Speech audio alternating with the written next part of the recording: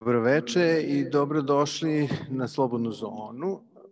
Ovde je e, u pitanju program u fokusu uh, In Conversation with Pietro Marcello. Uh, radi se o razgovoru sa rediteljem filma Martin Eden koji smo upravo gledali i ovaj, on nam se uh, pridružuje uživo iz Pariza gde trenutno boravi u lockdownu. Ono što bih hteo da kažem je da je nama velika čast da ugostimo Pjetra Marčela na programu Slobodne zone i da vam kažem da ćete da će publika takođe imati priliku da postavi pitanja reditelju filma koji ste upravo gledali. Ono što bih za početak hteo da kažem jeste da se nalazimo na jednom mestu koje ima specifičnu istorijsku težinu. E, to je e, najveća sala Jugoslovenske kinoteke koja je 1945. godine bila mesto na kome je održano suđenje Mašalu von Leru, koji je bio okupacioni upravnik Beograda. Tako da u skladu sa ovim filmovima Pjetra Marčela koji imaju specifičnu e, istorijsku težinu. Evo samo da kažem koji je kontekst e, boravka znači, u prikazivanja filma u ovoj sali. Uh, sada bih pozdravio uh, reditelja Pjetra Marčela i pitao bih ga kako se on osjeća sada u uh, izolaciji u Parizu. Allora, grazie a tutti. Mi dispiace non essere lì perché sono anni che voglio visitare la Serbia, di, visitare Belgrado. Che dire, io sono qui in confinamento a Parigi, in Italia si è anche in lockdown, lo stesso come qui, nel senso un momento particolare per tutti. La pandemia ha colpito tutti e, e forse è il momento giusto per riflettere e pensare riguardo al futuro, perché così neanche va bene, no? Cioè c'è qualcosa che non va in tutto questo e, e, niente, siamo tutti in attesa di essere innanzitutto liberati riguardo alla libertà individuale di ciascuno di noi. Eh, che dire, siamo tutti in attesa di, di, di vedere che cosa accadrà. Sono contento che siete riusciti a proiettare il film a Belgrado perché, perché molti cinema del mondo sono chiusi e la gente non ha possibilità di accedere. Eh, niente, credo che questo sia un privilegio, poter vedere i film in sala, perché in questo momento nessuno, non avviene quasi da nessuna parte, in particolar modo in Europa. Uh, Sada ćemo se uh, vratiti na vas kao autora jednog značajnog opusa filmova. Vaš, vi ste studirali umetnost i to je ono što je veoma zanimljivo, znači nemate uh, formalno obrazovanje iz oblasti filma. Uh, navodno vaš prvi posao je bio u zatvoru u Napolju. Da li možete da nam kažete da li je to uticalo na odluku da se iz početka bavite zapravo dokumentarizmom, dokumentarnim filmom i da li uopšte vi pravite tu distinkciju između dokumentarizma, autora dokumenta i igranog filma? Niente, ho lavorato in prigione ma un po' come educatore, nel senso era un lavoro. Io da piccolino volevo fare il pittore, ma non ero così, così capace, così bravo e ho ripiegato sul cinema, un qualcosa abbastanza comune per molti che hanno iniziato poi a fare cinema. Eh, spesso il regista è qualcuno che non riesce a realizzarsi in altre cose e ripiega nel fare cinema, è una cosa abbastanza diffusa, nessuno lo dice, però è un po' così, è un po' la storia del cinema, è sempre di, di personaggi, di registi che volevano fare altro nella vita, poi si ritrovano a fare i registi. Io volevo fare il pittore, ma non ero così, ero un po' mediocre, ho ripiegato nel fare cinema. Riguardo al documentario, ho fatto sempre documentari perché era lo strumento più accessibile, ho fatto sempre film con pochi soldi. Eh, l'unico modo per iniziare per me era attraverso i documentari di osservazione, ma non perché la mia era una vocazione di, di fare documentari, ma in questo modo sono riuscito a imparare molte cose, a imparare in, a farmi innanzitutto le ossa con il documentario, perché il documentario ti insegna, ti insegna tutto, ti insegna ad affrontare l'imprevisto, ti insegna il montaggio, ti, ti insegna l'uso della macchina e credo che sia un qualcosa di veramente importante per la formazione di, di chi vuole fare cinema. Diciamo che tutti i registi dovrebbero fare documentari, perlomeno per un po' di tempo nella vita, per, per poi poter affrontare il set in un modo migliore. Non ho avuto esperienze come assistente, non ho mai fatto scuole di cinema, ma innanzitutto perché quando ero ragazzo non, non ho avuto la possibilità di farlo come tanti altri. Per questo io vengo dalla provincia come, come tanti che partono dalla provincia per fare cinema. Io sono cresciuto vicino Napoli, ho passato tutta la mia giovinezza a Napoli ed è lì che ho imparato a relazionarmi con il mondo a filmare la gente, perché spesso mi si chiede, mi dice, ah ma perché filmi solamente dei poveracci, perché filmi gente, come dire, che non, di una struttura sociale meno, meno privilegiata, probabilmente perché è più facile filmare la gente semplice che filmare i privilegiati. I privilegiati spesso sono noiosi figli di papà ed è facile, è difficile anche poter raccontare qualcosa. Invece la gente semplice è più, è più disponibile a raccontarsi. Eh, poi ho visto che, che, quello che penso è anche che, diciamo, credo che sia importantissimo l'approccio nel come si filma e a chi si filma, di, di avere un rispetto, un rigore di chi viene filmato, perciò mai di violentare l'intimità degli altri, questo sicuramente.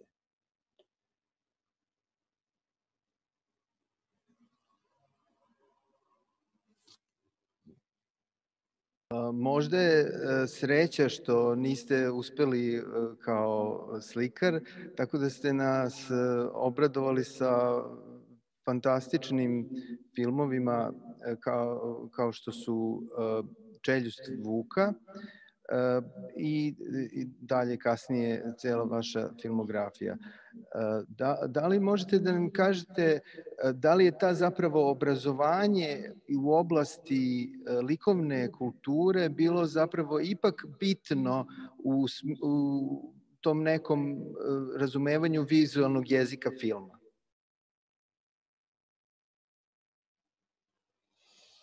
Ma sì, credo che sicuramente la pittura è fondamentale perché il cinema senza la pittura è un qualcosa che non esisterebbe. Cioè, nel senso, se si pensa alle origini del cinema, c'era una relazione molto forte tra, tra pittura e cinema, che è un qualcosa che si è perso negli ultimi anni, a favore della tecnologia del fare cinema. Spesso si parla di 4K, 8K, ma il cinema è, è riempirsi la vista e, e la forma, e la forma, e questo è legato alla pittura, è legato a tutta la storia dell'arte e della pittura. In sé il cinema è un'arte collettiva, in un certo senso anche un'arte socialista che si fa insieme, si fa con gli altri e, e, e attingi da tutte le arti applicate e da, da, tutte le altre forme d'arte. E in un certo senso il cinema è come una montagna che prende acqua da tutte le parti e, e si ciba di tutto questo.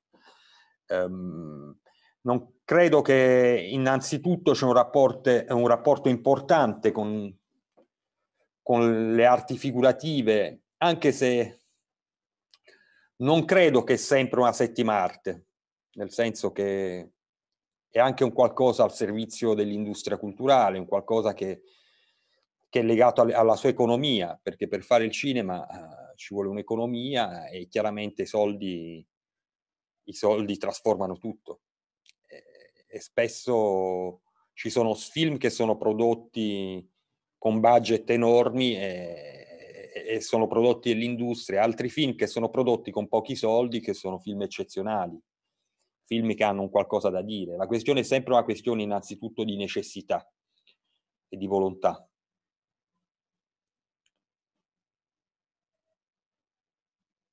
Fellini je u jednom uh, trenutku rekao da je njegova saradnja sa Rossellinijem bila važna između ostalog stoga što je ga je Rossellini naučio da se na film, film može raditi kao, na primjer, uljana slika. Uh, vi takođe pominjete uh, Rossellinijev metod. Da li možete nešto više da nam kažete o tome? Ma per me, diciamo, venendo al documentario non ho mai fatto, a, a, elaborato una scrittura, ho sempre scritto dopo i film, perché in sé la scrittura è un'opera incompleta, perché c'è la trasposizione filmica, figuriamoci nel documentario, e ho lo stesso approccio anche per la finzione, per fare film di finzione. In sé la sceneggiatura non è, non è un'opera completa, diciamo la sceneggiatura è sempre cambiata fino alla fine, fino alla fine di un film. Diciamo la, fi- la sceneggiatura viene terminata quando il film è finito attraverso il suo montaggio e credo che ci sia una grande relazione tra la scrittura del cinema e il montaggio. Diciamo, il metodo di Rossellini è semplicemente di poter tradire la sceneggiatura in sé, ma non tanto tradirla, poterla cambiare, perché in sé sono gli avvenimenti che cambiano, cambiano la produzione di un film, come non trovare un attore, non trovare un luogo, o trovare un luogo migliore di quello che noi abbiamo immaginato nella scrittura, nel senso la possibilità di imprevisti. Quello che intende Fellini è un po' questo. E, e Rossellini era tra i mo- più motivati ad avere un metodo, a fare un cinema così, perché spesso anche i suoi sceneggiatori, i sceneggiatori di Rossellini erano esasperati perché lavoravano per dieci mesi a un film, poi arrivava Rossellini e trasformava il film. Allora tutto quel lavoro che avevano fatto gli sceneggiatori era un po' inutile. È un po' questo, eh, raccontandolo, raccontando in poche parole questo metodo. Semplicemente la possibilità di, di, di, di poter cambiare la sceneggiatura e di affrontare più facilmente gli imprevisti. Credo che questo sia il senso delle parole di Fellini, quello che ci raccontava Fellini.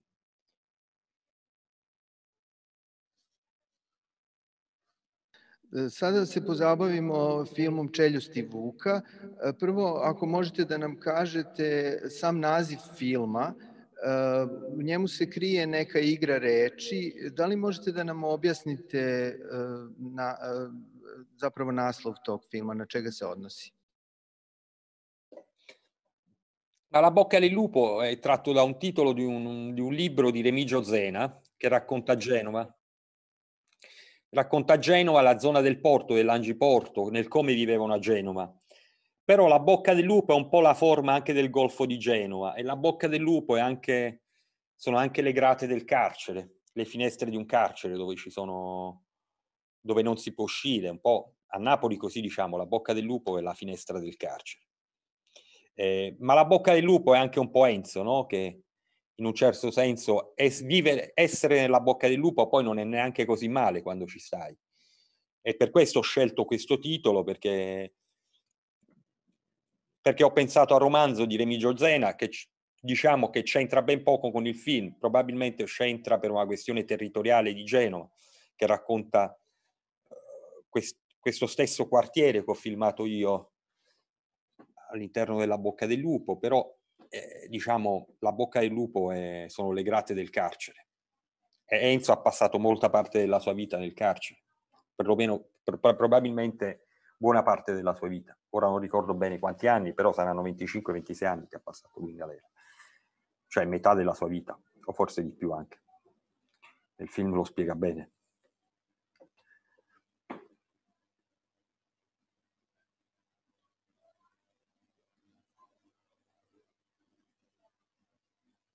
Sada bih citirao jedan deo iz filma, iz voice-overa, u kome se kaže da mesta kroz koja prolazimo su iskupine memorije, nepoznatih želja, zabranjenih prisećanja na izgubljeni svet. To je citat iz jednog kadra ko se dešava. Kakav je zapravo vaš odnos prema sećanju, prema tim izgubljenim svetovima sećanja, jer meni se čini između ostalog da je to sećanje na neki način, na vrlo specifičan način postoji nekakva materijalnost tog sećanja. E, da li možemo da kažemo otprilike da je za vas sećanje materijalno i propadljivo?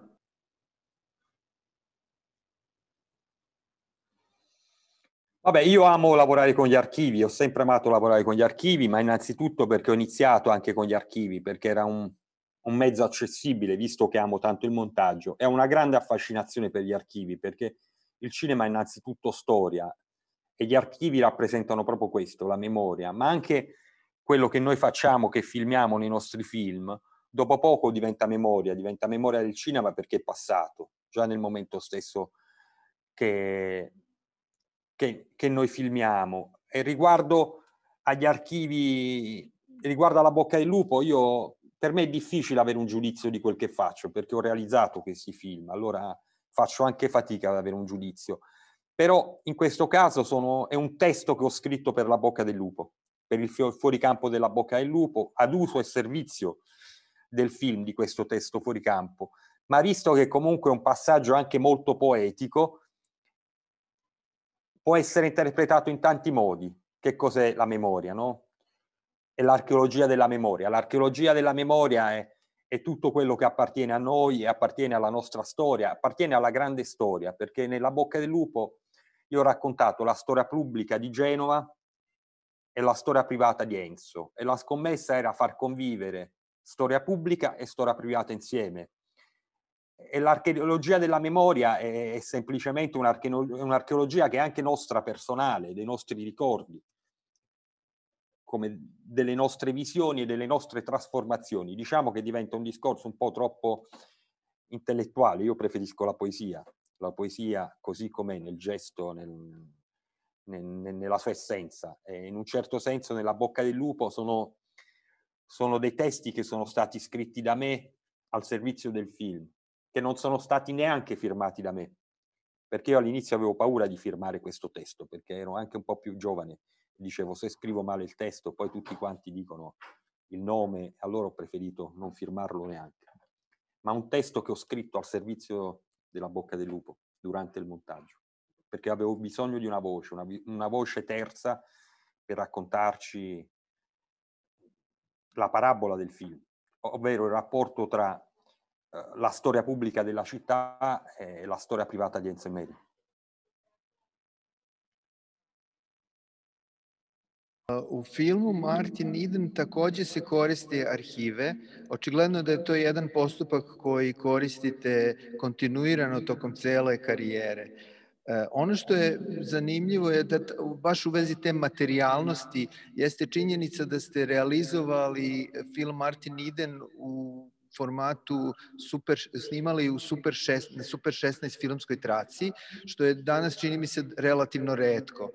Da li možete nešto da nam kažete, da li je ta materijalnost filmske trake za vas važna i kakav je vaš odnos prema digitalnom uh, signalu i digitalnoj kinematografiji?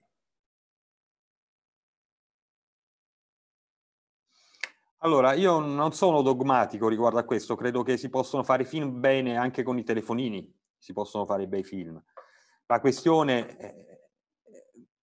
è avere un punto di vista, cioè diciamo saper filmare come la pittura, avere un'idea minima di dove mettere la macchina, che sia cinepresa, che sia un iPhone, telefonino, non importa. Io amo la pellicola innanzitutto perché mi diverto, sono come un cinematore degli anni 70, di quelli che facevano i filmini di famiglia. Io come, come, come altri non credo che saremo tanti o la passione della camera oscura o la passione dell'alchimia, della chimica nella pellicola o, o tutti gli strumenti per filmare e sviluppare tutto da solo. Ma parlo di, di un hobby per me, è un amore che ho per la pellicola, un amore che ho per il celluloide, ho realizzato anche film con pellicola scaduta, per esempio La bocca del lupo è realizzato con pellicola scaduta, ehm, e lo stesso in, in Martinide ho lavorato alla macchina perché ho fatto sempre la macchina, perché amo stare in macchina, amo la fotografia. Sono innanzitutto anche uno che ama la tecnica del fare, del fare cinema e dell'uso della pellicola, ma non sono assolutamente contrario al digitale. Credo che sia una risorsa non meno della, di, di, di, fare l'uso della pellicola, di, di, utilizzare la pellicola. Chiaramente per me è un privilegio aver avuto l'opportunità di, aver realizzato Martin Eden in Super 16. Ci sono delle parti che volevo girare in 35 mm, ma non avevo i soldi per avere la pellicola 35, allora ho girato con la 16. E in un certo senso la 16 è più comoda perché hai delle cineprese più leggere, però diciamo un rapporto che ho con la pellicola, di, di, di, di passione, di, lavorare in pellicola, ma non sono assolutamente contrario al digitale, però per me è anche un, un, una questione fisica di filmare in pellicola, di saper aspettare, di saper aspettare lo sviluppo e in un certo senso anche un'educazione all'immagine che filmi meno, perché la pellicola costa di più, devi avere le idee molto chiare quando filmi. E que- per me è stato importante il montaggio, perché amo il montaggio. Il montaggio mi ha aiutato a capire quando devo fermarmi e, e dove filmare e come filmare. È anche una, un qualcosa di importante. Questa è sempre una lezione che viene dal documentario, che ho imparato attraverso lo strumento del documentario la relazione tra filmare e montaggio.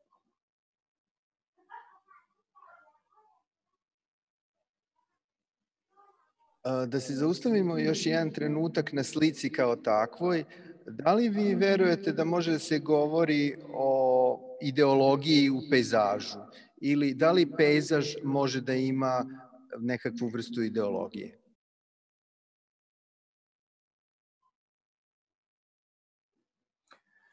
Ma io non credo nelle ideologie, credo che le ideologie sono il male del secolo scorso, diciamo. È l'ideologia anche che ha reso l'Europa così, perciò non bisogna essere mai ideologici. Non bisogna essere mai ideologici o, o dogmatici.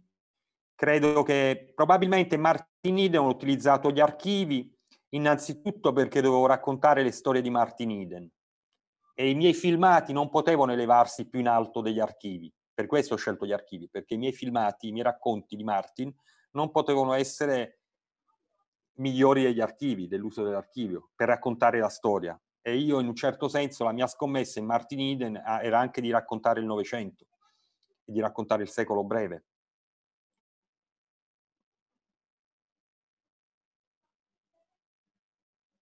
da se vratimo ipak još u jedan trenutak na film Čeljusti Vuka. Uh, to je veoma upečatljivi likovi u mračnom okružju Đenove, ostaju sećeni gledalce nalik na određene likove iz komedije dell'arte. Da li možete nešto da nam kažete vezano za e, tu neku tradiciju, italijansku tradiciju, bilo da je u pitanju neka kulturna tradicija ili e, neka, neka vrsta geografske, arhitektonske ili socijalnog prostora koje, koje vi izražavate u tom filmima. Koje, kakva je to Italija koju vi volite i koja vas inspiriše? Diciamo, io credo che l'Italia sia un paese bellissimo, è il paese dei limoni. Io sono cresciuto al sud, sono uno del sud e amo il sud, amo i, amo i sud del mondo in generale. Ehm, credo che l'Italia sia ancora un paese bellissimo per quanto cemento eh, sia stato versato e resta un paese straordinario dove è il mare, la campagna, i monti. Probabilmente amo, amo la campagna innanzitutto, amo la campagna, amo la provincia italiana perché le città in un certo senso sono diventate tutte le stesse e sono tutte alquanto invivibili e credo che l'unica speranza è il paesaggio e anche una certa cultura del paesaggio, di raccontare il paesaggio.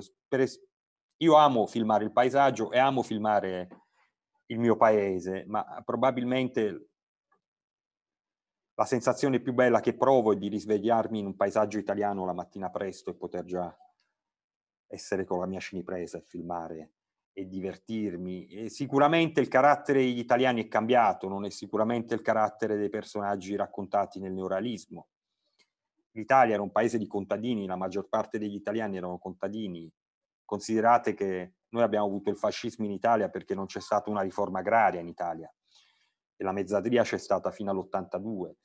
Per questo era un paese di, di contadini e i contadini erano tutti uguali, nord, sud, ovunque era un paese dove fatto di gente più, più simpatica sicuramente di quello che sono oggi gli italiani, ma anche più semplici. E il mondo delle comodità in un certo senso ha cambiato tutti e ha cambiato anche il nostro paesaggio, come sono cambiati gli abitanti è cambiato anche il paesaggio, però ripeto, per quanto cemento sia stato versato in Italia, la terra, la terra è un po' l'ombra dell'umanità. E tutto si rimodella come è stato rimodellato nel tempo il paesaggio italiano, nei secoli e nei secoli.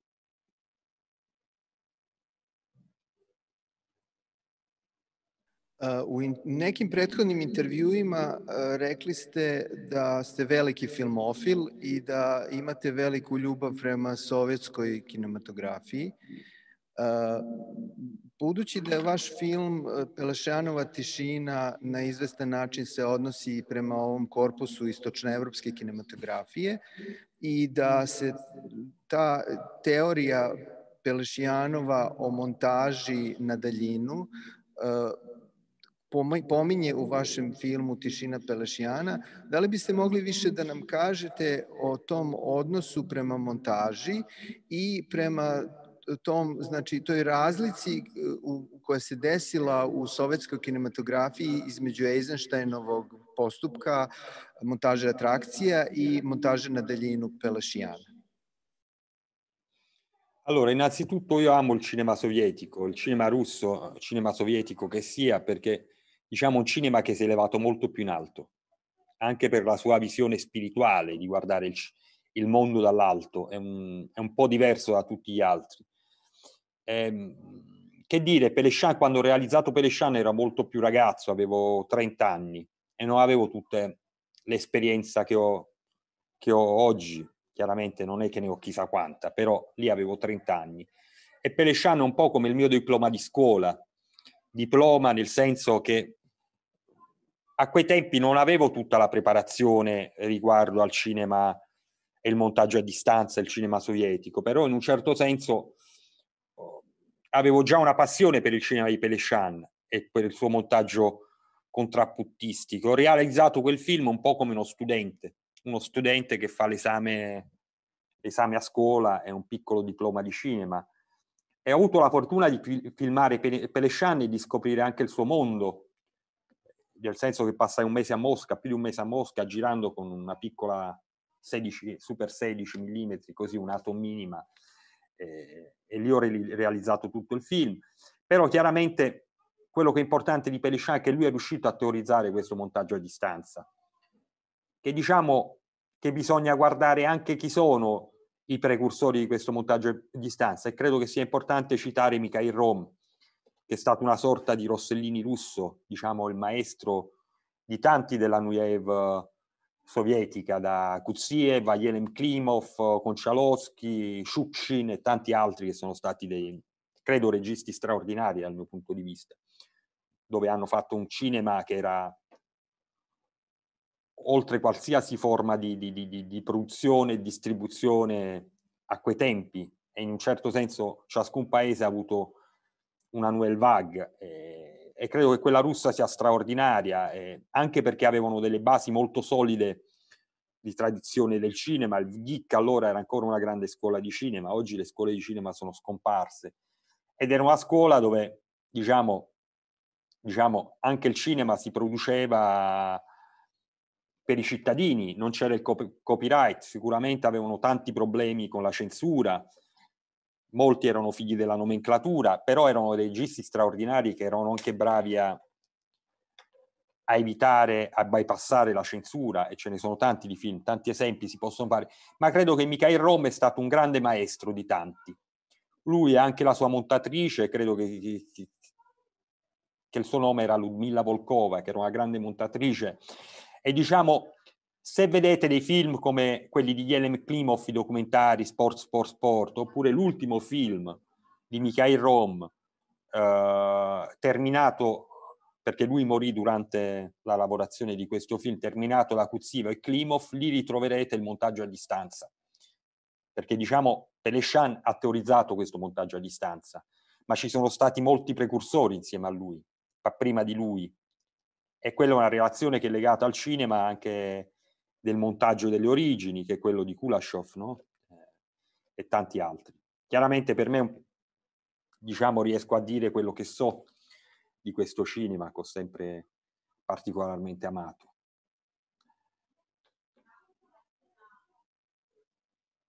Da li možemo da govorimo o montaži na daljinu i izvan jednog filmsk, filma kao takvog? Da li montaža može da se proširuje i na ceo opus? Imajući u vidu da vi recimo u sceni u metrou, u tišini Pelašijana, postoji scena sa dodirivanjem njuške jednog, na jednoj skulpturi. Da li je to nekakva odnos prema vašem filmu Čeljusti Vuka? I postoje i u drugim nekim filmovima neki slični motivi kao što je recimo jedrenjak koji tone, koji a vidimo jedrenjak i u filmu Čeljusti Vuka. Da li možemo govoriti o montaži na daljinu koji se pro, prostire dalje od jednog filmskog dela? No, ma di questo sicuramente, diciamo da una parte per molti registi il sogno è il superamento del montaggio molti ci hanno provato. Dall'altro il montaggio è la parte più adrenalinica di un film, come dice Godard. Ehm, in un certo senso per me riguardo al cane e la carezza al cane è difficile avere un giudizio di quel che faccio. Sicuramente credo che tutto quello che viene visto si può riproporre in un film e replicare attraverso l'immagine. In un certo senso il montaggio a distanza è questo vedere qualcosa eh, di cui resti colpito e poi è un qualcosa che ti viene riproposto alla fine del film o durante il film per accentuare ancora di più quel sentimento di visione. Questo in, in sintesi è il montaggio a distanza.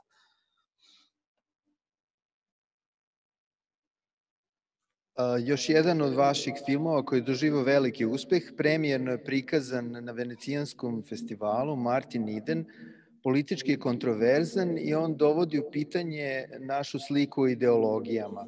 Redko ko se bavio revolucijom, nekim, da tako kažem, situacijama koje su se dešavale pre revolucije, da li, šta vas je zapravo ohrabrilo da se upustite u ovakav jedan specifičan potuhvat koji ima svoju ideološku težinu?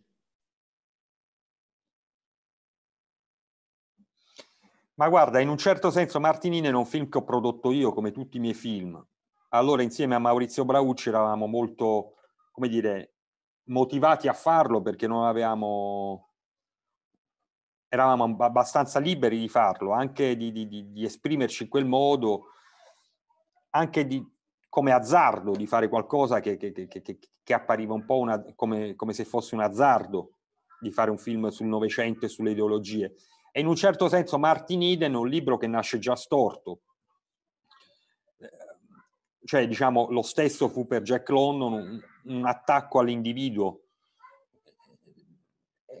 In un certo senso Martin Eden era conosciuto più in Europa che in America. Tutt'oggi in America sono conosciuti i racconti di avventura di, di Jack London. Noi invece conosciamo il tallone di ferro, il popolo degli abissi, Martin Eden, che è molto conosciuto in Europa, sono sicuro che, che è stato un libro conosciutissimo anche in Serbia. E, e, io quello che ho fatto è di raccontare dal mio punto di vista, attraverso il mio paese, il personaggio di Martin Eden, che diciamo diventa una sorta di archetipo, come il Faust, come l'Amleto, cioè il mio Martin Eden eh, come altri Martin Eden, cioè un Martin Eden poteva essere realizzato anche sulle coste della Serbia, in una città portuale serba, ovunque poteva essere possibile. Però in un, certi, in un certo senso Jack London già era già una sorta di profezia in Martin Eden, cosa è poi stato il Novecento, perché Martin Eden parla di Spencer, Spencer ha scritto delle cose orribili, in particolar modo riguardo alla relazione tra uomini. In un certo senso, al posto di Spencer, probabilmente noi dovevamo avere Sorel per noi italiani, ma noi abbiamo lasciato Spencer, abbiamo in un certo senso rispettato, rispettato il, il libro, di, di, lo abbiamo fatto un po' così, non l'abbiamo cambiato il libro di, di, London. Eh, e che dire delle ideologie? Io non sono un comunista e non sono neanche un fascista, per questo non ho nessun genere di problemi. E il film inizia con Enrico Malatesta, e quella è una dichiarazione ben precisa perché c'è Enrico Malatesta lì, è una scelta ben precisa.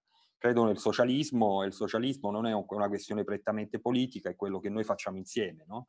Già nella gestione di un cinema nella gestione di una casa è, è socialismo quello che mettiamo in pratica. Perciò il socialismo è, un qualcosa che è oltre la politica, è il saper vivere e l'essere insieme, una dottrina comune e collettiva.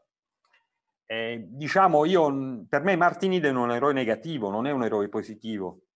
Non ho una visione positiva di Martin Eden, ho una visione positiva dell'autodidatta, di chi si fa da solo, attraverso la cultura, ma quello che fa Martin Eden è un tradimento della classe d'appartenenza. Per questo il film per me è profondamente co- contemporaneo. In Martin Eden di Jack London, Martin tradisce la lotta di classe. Ma visto che noi non abbiamo più lotta di classe, quello che tradiamo è la, lot- è la, la classe d'appartenenza. È un po' più complesso spiegarlo, però nel mondo delle comunità non credo che esistono più delle ideologie, non esiste più niente. Siamo siamo al servizio dell'economia.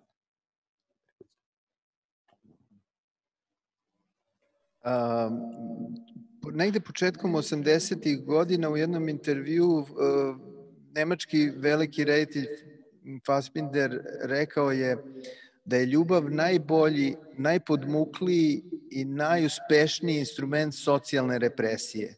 Da li se vaš film Martin Eden može razumeti i na ovakav način?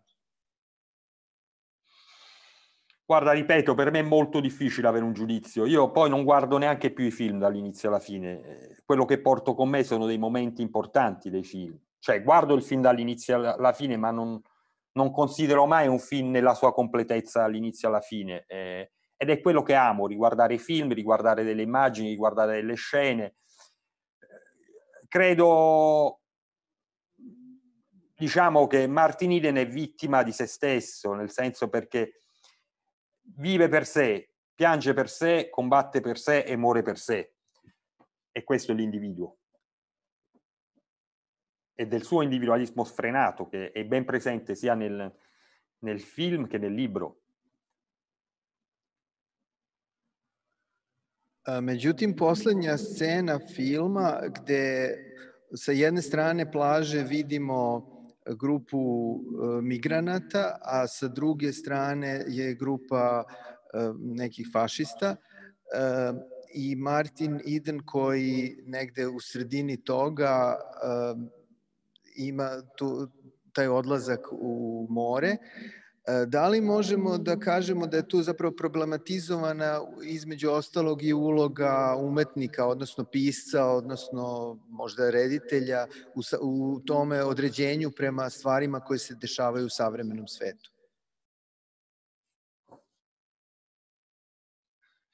Ma diciamo lì in quel caso lì è una visione che sono i fiumani di Fiume, perché diciamo il fascismo dopo Fiume è nato lì, e da una parte vediamo i migranti, ma in un certo senso siamo nel 20, è il corso e ricorso della storia, il libro è stato scritto nel 9 e la profezia è stata questa, perché dopo Nietzsche noi abbiamo avuto, dopo Spencer, Nietzsche, Mussolini, Hitler, Stalin e tutti i disastri del Novecento. In un certo senso il corso, la paura è proprio il corso e ricorso della storia, ma nel caso di Martin Eden, Martin Eden non ha più niente da dire, e sceglie l'acqua, sceglie, sceglie, il mare, sceglie il mare perché, perché non ha più niente da dire e non è da nessuna parte. Martin Eden non ha letto mai Gorky tra la gente, di essere tra la gente. Martin Eden non, non, non è eh, Hemingway che racconta la gente, è, è, diverso. Allora in quel caso lì, eh, diciamo, è vittima di se stesso, è vittima di se stesso. E poi chiaramente ne, all'interno della grande storia questo è un po' quello che avviene. Però per me il finale è molto importante, ma il finale di Martinelli è innanzitutto lui che rivede se stesso da giovane, solo che non è più, non è più lo stesso. E rincorre se stesso, ma non potrà mai raggiungere quella serenità quel desiderio, quella passione che ha perduto attraverso il suo successo, diciamo, e di non ascoltare altri, perché poi, diciamo, la parabola è quella del mentore di Brissen che dirà lui fatti socialista, è l'unica speranza. Diciamo che sarà il suo mentore a fare questa profezia.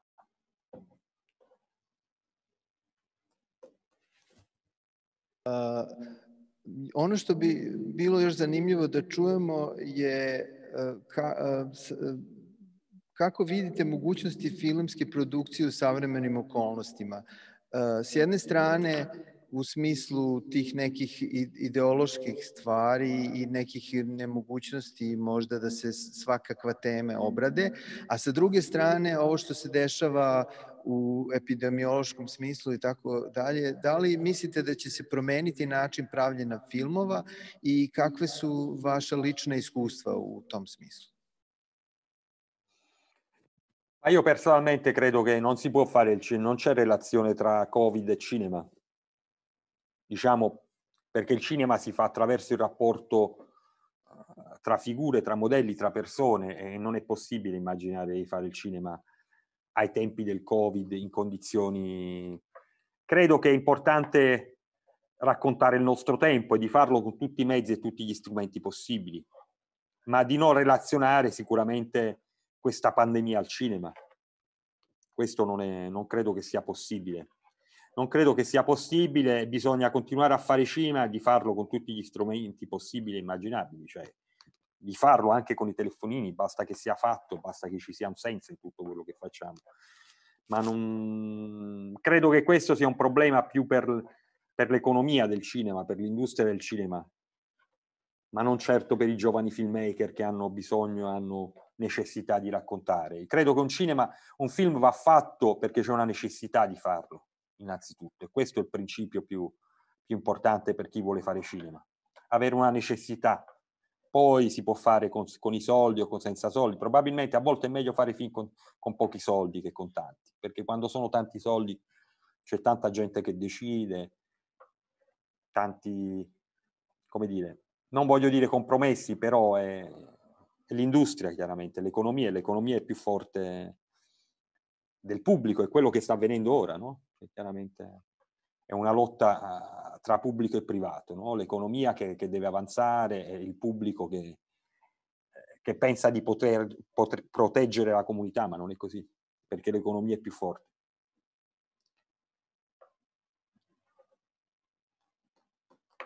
Da li ćete vi možda u budućnosti praviti filmove dalje koji su niskobudžetski ili ćete pokušati da imate veće budžete za vaše filmove, budući da je iz početka se radili filmove nisko, nižeg budžeta, a Martin Eden je ipak jedan film koji je veći budžeta. Sì, Martin, Martin Eden è un film che ho prodotto io ed è stato molto difficile perché io nel frattempo ho dovuto fare il regista, scrivere, produttore, è molto complesso e spero di non, di non ritrovarmi più nelle stesse situazioni perché probabilmente se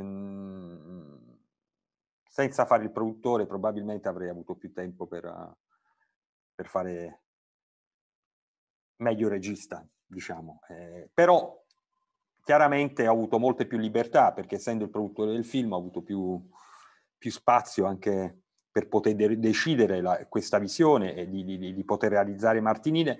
Non ho, io spero di poter tornare a fare film, ma innanzitutto per me è importante la necessità, per me va bene anche fare film di archivio con i francobolli, fare film, reportage, fare film di finzioni, fare favole. Non, non, non, non, credo che un film viene bene perché è un film con un grande budget. Credo che, che un film è bello quando c'è una passione, c'è una necessità di chi lo fa.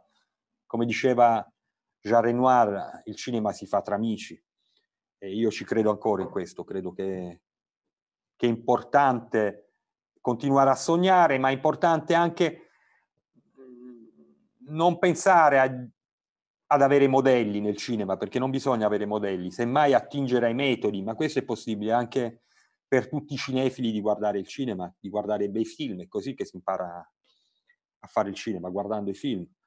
guardando i film, ma innanzitutto quello che è importante è avere una passione, avere una necessità, qualcosa da raccontare. Poi un film può costare 5.000 euro come 5 milioni, non importa. Non... Anzi, credo che, che, sia giusto scendere per strada e raccontare il nostro mondo e, ciascuno di farlo come può, specialmente in questo momento storico. E, hvala, to bi bilo to što se tiče mojih pitanja. Sada, ukoliko bi neko iz publike imao neko pitanje da postavi, ja ću e, preneti to pitanje.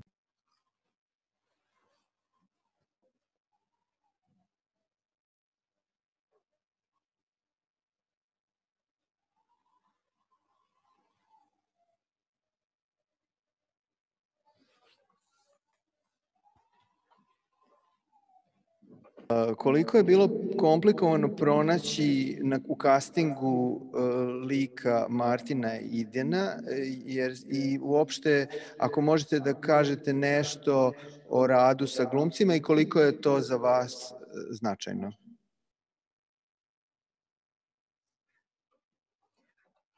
Ma riguardo a Martin Iden, io non ho fatto casting, non ho fatto il casting di Luca Marinelli. Io ho scelto Luca Marinelli perché diciamo, era l'attore più adatto per fare Martin Eden, un attore completo e capace di attraversare questa parabola. È la storia di un, di un marinaio sottoproletario che si innamora di una ragazza ricca e che diventa uno scrittore, un intellettuale acuto. E avevo bisogno di un attore solido e, Marti, e Luca Marinelli era la persona giusta per questo. Ho scelto lui senza fare cast, senza fare niente. E lo stesso per Carlo Cecchi per Rasbrissen, e diciamo sono attori, sono attori molto bravi. Di tendenza io dirigo, ma per me è importante far capire ai miei attori i personaggi, i personaggi, specialmente nel caso dei personaggi letterari, come nel caso di Martin Eden. Con Luca Marinelli era più una, una riflessione interiore riguardo al personaggio, non era tanto dirigere Marinelli e dire vai di qua, vai di là, era più che altro di ragionare sul personaggio di Martin Eden di sentirlo e di, e di, e, e di poterlo trasporre attraverso, attraverso il dramma, attraverso la recitazione. Dobro, da li ima još neko pitanje?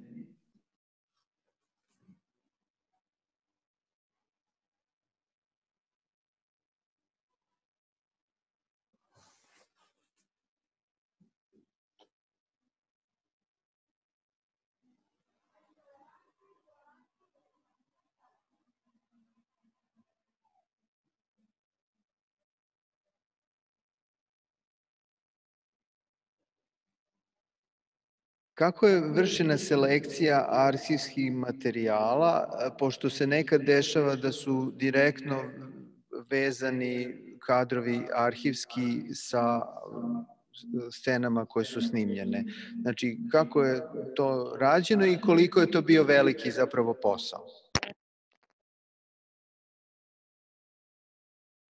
Ma io, diciamo, nella sceneggiatura avevo scritto di girare dei racconti, che erano i racconti di Martin Eden ma poi ho preferito utilizzare gli archivi perché non potevo levarmi più in alto degli archivi storici. Per questo ho utilizzato uh, questi materiali di repertorio per raccontare le, storie, le novelle di Martinini, le sue storie. E, e lì, diciamo, visto che molti di questi archivi erano in pellicola, anche io avevo realizzato il film in pellicola, diciamo, è stato più semplice tenerli insieme tenerli insieme, ma innanzitutto ci siamo anche divertiti a mantenere un film, a tentare di fare un film dove, dove c'è la finzione, ma ci sono anche gli archivi. E gli archivi, all'interno degli archivi ci sono anche i miei archivi personali, di cose che ho girato in questi anni. C'è di tutto e di più, ma innanzitutto io volevo, volevo raccontare attraverso le storie di Martin, attraverso gli archivi, il mio paese anche chiaramente e le sue trasformazioni e dei momenti importanti della storia d'Italia.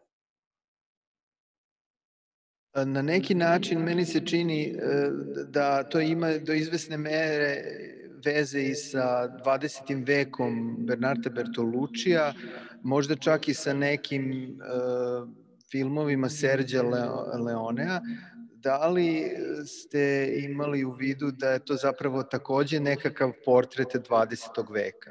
Upravo zbog toga što nije, što je do izvesne mere ta hronologija nije ispoštovana eh, bukvalno.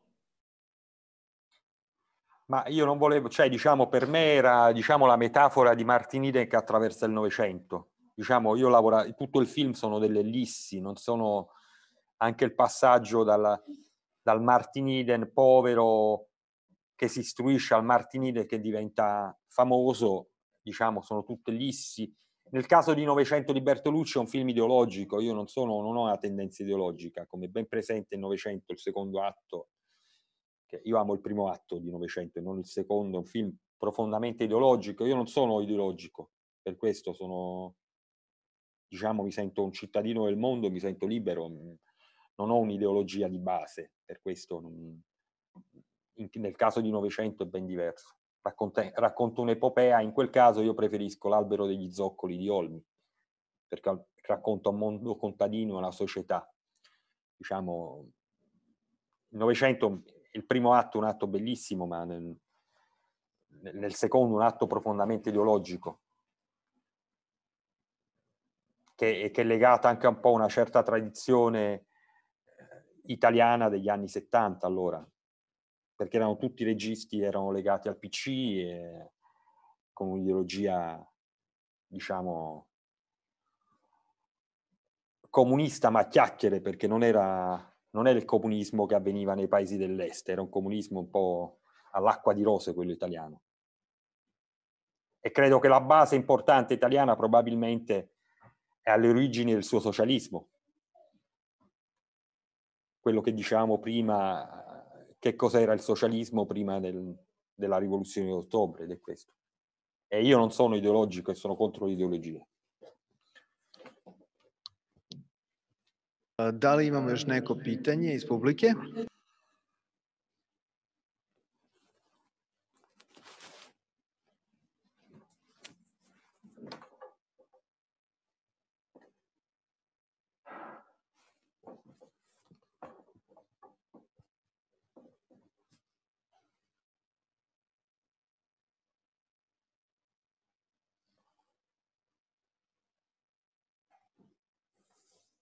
Ovde imamo komentar e, da su vaši filmovi zaista evropski filmovi i da podsjećaju na literaturu Tomasa Mana e, i postoji želja e, da ovaj, na izvestan način vi dalje nastavite u tom pravcu u kojem ste radili ove filmove i da imamo još dosta vaših filmova u budućnosti. Ali imamo još neko pitanje?